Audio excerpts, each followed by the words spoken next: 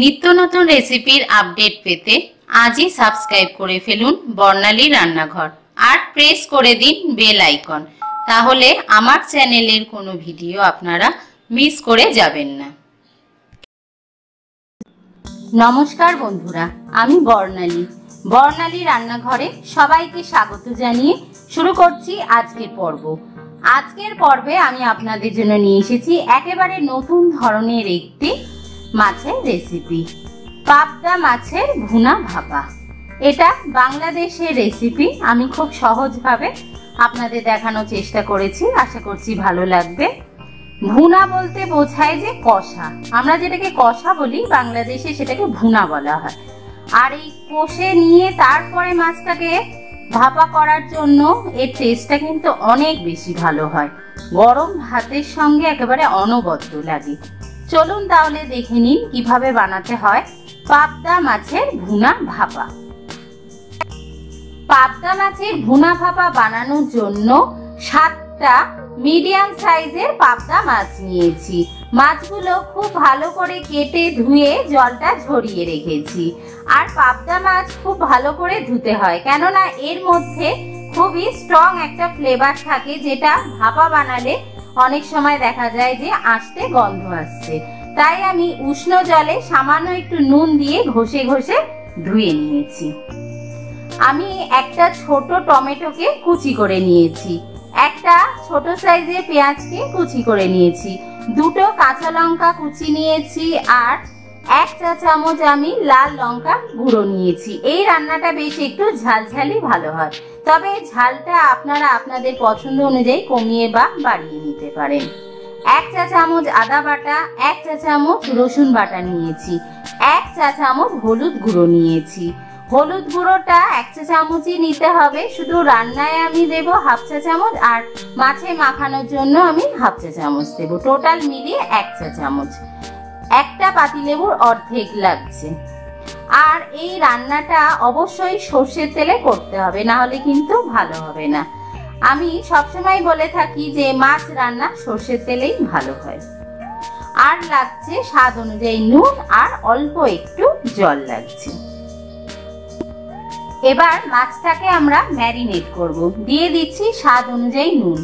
নুনটা বুঝেই দিতে হবে, কেননা গ্রেভিতে আমরা পরে আবার নুন অ্যাড করব।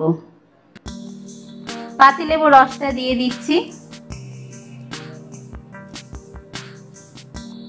পাতিলেবু রস দিলে মাছের মধ্যে আষ্টে গন্ধটা কিন্তু অনেকটাই কমে যায়। আর দিয়ে দিলাম হলুদ গুঁড়ো হাফ চা চামচ। খুব ভালো করে মেখে দশ মিনিটের জন্য রেখে দেব।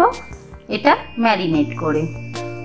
দশ মিনিটের মধ্যে, এর মধ্যে নুন, হলুদ আর লেবুর রসটা খুব ভালো করে মিশে যাবে। পরে রান্না করলে এর টেস্টটা ভালো হবে। এটা একটা বাংলাদেশি রেসিপি ভুনা বলতে বোঝায়, আমরা যেটাকে কষা বলি, সেটাকেই হচ্ছে বাংলাদেশের লোকরা ভুনা বলে থাকে। আর ভুনা ভাপার কথাটা হচ্ছে, বেশ কষাও হবে মশলাটা, আবার মাছটা ভাপাও হবে, ভাজা হবে না। কাঁচা মাছ দিয়ে ভুনা ভাপা। মাছটা খুব ভালো করে মাখিয়ে নিয়েছি, নুন, হলুদ আর লেবু রস। এইভাবে দশ মিনিট রেখে দিচ্ছি। দশ মিনিট পরে আমরা রান্নাটা স্টার্ট করব। কড়ায় চার টেবিল স্পুন আমি সর্ষের তেল গরম করেছি। এবার এর মধ্যে পেঁয়াজ কুচিটা দিয়ে হালকা করে ভেজে নেব। বেশি লাল করব না।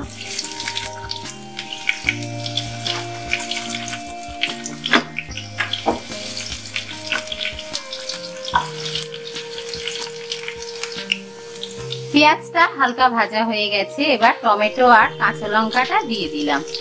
টমেটো দেওয়ার সঙ্গে সঙ্গে নুন দিতে হয়, তাহলে টমেটোটা খুব তাড়াতাড়ি নরম হয়ে যায়। দিয়ে দিলাম স্বাদ অনুযায়ী নুন। নুনটা খেয়াল করে দিতে হবে মাছের মধ্যে নুন দেয়া আছে।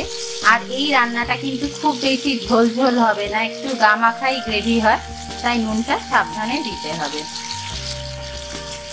এবার টমেটোটাকে দু মিনিটের জন্য একটু নাড়াচাড়া করে নেব যাতে টমেটোটা খুব ভালোভাবে গলে যায়। টমেটোটা বেশ নরম হয়ে গেছে। এবার এর মধ্যে দিয়ে দেব হলুদ গুঁড়ো আর লঙ্কার গুঁড়ো।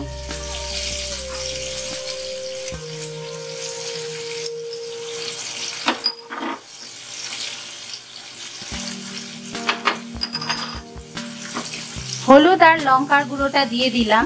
সামান্য একটু জল দিয়ে কষিয়ে নেব যাতে মশলাটা পুড়ে না যায়।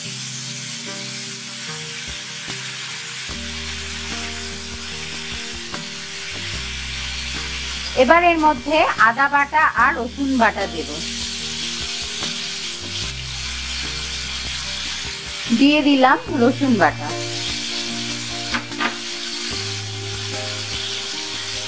আদা বাটাটা দিয়ে দিলাম।